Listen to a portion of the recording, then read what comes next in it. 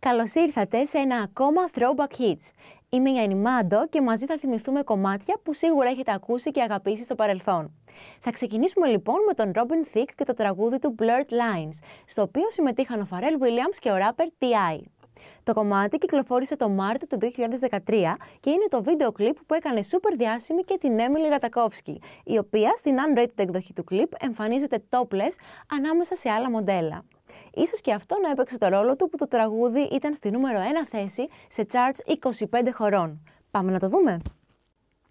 Από ένα τραγούδι που μοιάζει τόσο πρόσφατο, πάμε σε ένα τραγούδι που ήδη θεωρείται κλασικό. Αυτό το κομμάτι είναι το Empire State of Mind του Jay-Z και της Alicia Keys. Από πολλούς κριτικούς θεωρείται ως ένα από τα καλύτερα τραγούδια για το 2009.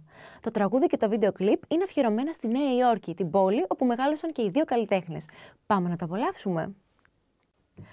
Άλλο ένα τραγούδι που είναι βασισμένο στις εμπειρίες του καλλιτέχνη του είναι το επόμενο, το Here Without You του 2003. Το κομμάτι της rock μπάντας Three Doors Down κυκλοφόρησε το 2003 ως το τρίτο single του άλμπουμ τους Away From The Sun.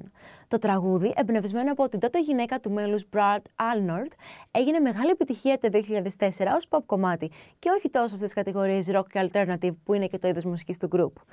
Πάμε να το δούμε.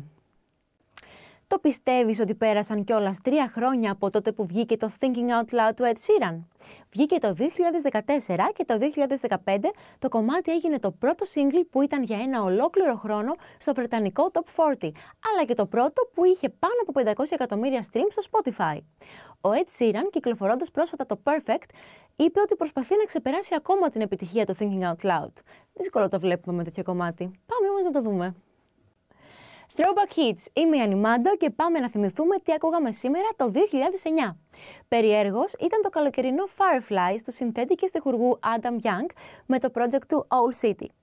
Αυτό το τραγούδι που μιλάει για την αϊπνία ενός 20χρονου ήταν νούμερο 1 στα τέλη Νοεμβρίου του 2009.